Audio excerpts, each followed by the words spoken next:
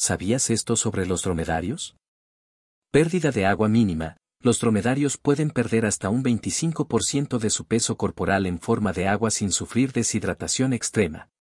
Sus riñones son capaces de concentrar la orina y reducir la pérdida de agua. Aislamiento de la arena. Los dromedarios tienen almohadillas gruesas y duras en sus pezuñas que les ayudan a caminar sobre la arena caliente del desierto sin quemarse.